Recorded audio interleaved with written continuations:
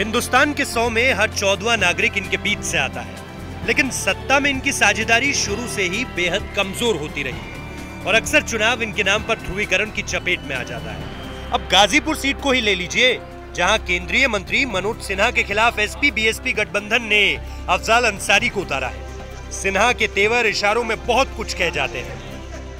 अगर किसी की उंगली भारतीय जनता पार्टी के कार्यकर्ता की तरफ़ दिखी तो भरोसा रखिए, चार घंटे में वो उंगली सलामत नहीं रहेगी।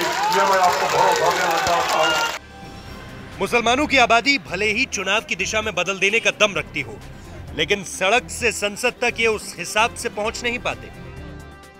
देश की आबादी में भले ही मुसलमानों की हिस्सेदारी 14 फ़ीसदी है, लेकिन संसद में इनकी संख्या उस अनुपात में काफ़ी कम रही है। उन्नीस सौ बावन में 21 सांसद चुनकर आए, यानी 2.8 फ़ीसदी। उन्नीस सौ सत्तावन में 24 सांसद। यानी 4.4 फ़ीसदी। उन्नीस में 23 यानी 4.2 फ़ीसदी। उन्नीस में उनतीस यानी 5.3 फ़ीसदी। उन्नीस में 30 यानी 5.5 फ़ीसदी। 1977 में 34 यानी 6.2 फ़ीसदी। 1980 में उनचास यानी 9 फ़ीसदी। उन्नीस में 46 यानी 8.8 फ़ीसदी। उन्नीस में 33 यानी 6 फ़ीसदी। उन्नीस में 28 यानी 5.1 फ़ीसदी। उन्नीस में 28 यानी 5.1 फ़ीसदी, उन्नीस में उनतीस यानी 5.3 फ़ीसदी, उन्नीस में 32 यानी 5.8 फ़ीसदी 2004 में 36 यानी 6.6 फ़ीसदी 2009 में 30 यानी 5.5 फ़ीसदी और 2014 में 23 यानी 4.2 फ़ीसदी। पिछले लोकसभा में तो उत्तर प्रदेश समेत 22 राज्यों से एक भी मुस्लिम सांसद चुनकर नहीं जा पाया। जबकि सबसे ज़्यादा आठ मुस्लिम सांसद पश्चिम बंगाल से जीते। अब की बार भी पश्चिम बंगाल में चुनाव हिंदू मुसलमान की धरातल पर खड़ा हो गया है। दीदी, इतनी बौखला गई है। कब उन्हें भगवान की बात करना भी खटक रहा है। हालत तो ये है कि जय श्री राम कहने वालों को दीदी गिरफ़्तार करवाकर जेल भेज रही है।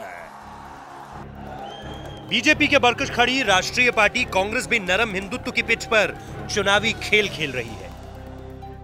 आलम यह है कि बीजेपी ने आठ मुस्लिम उम्मीदवारों को उतारा है तो कांग्रेस ने 35, उत्तर प्रदेश में एसपी बीएसपी ने 10 तो पश्चिम बंगाल में टीएमसी ने सात मुस्लिम उम्मीदवार। उत्तर प्रदेश में एसपी, बीएसपी गठबंधन को भरोसा है कि अब की बार मुस्लिम वोटों में विभाजन ना तो हुआ होगा, ना होगा।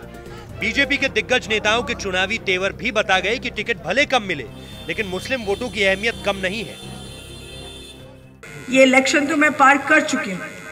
अब आपको मेरी ज़रूरत पड़ेगी और उस रिज़ल्ट में 100 वोट निकलेंगे और या 50 वोट निकलेंगे तो उसके बाद जब आप काम के लिए आएँगे तो वही होगा मेरे साथ। समझ गए आप लोग?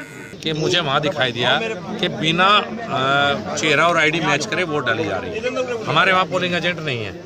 तो ऐसा मुझे लगा कि ठीक नहीं है।